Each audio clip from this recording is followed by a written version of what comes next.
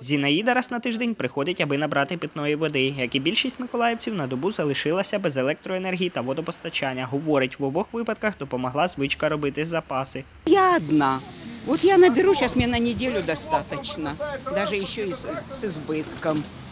Так что я только вот это готовить, кушать. С соседями договорились, на улице костерок разведем, что-то будем готовить. За кермом водій Олександр каже, з серпня розвозить продукт для містян. Набираем со скважины в парке через станцию очистки и набираем бочки, везем по точкам. Станцію зворотнього осмосу передала Житомирська міська рада, говорить Миколаїв Електротранс. Розвіз води щодня з квітня організовують двома транспортними одиницями. На добу е, ми роздаємо трамваям і тролейбусам 21 куб очищеної води. Е, Роздають кожного дня на трьох локаціях: три локації трамвай, три локації тролейбус.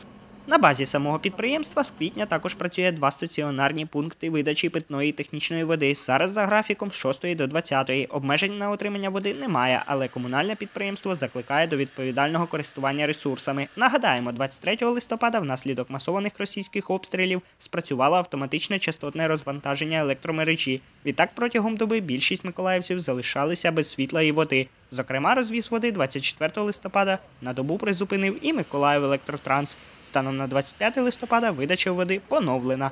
Водночас трамваї і тролейбуси для розвезення пасажирів тимчасово не працюють.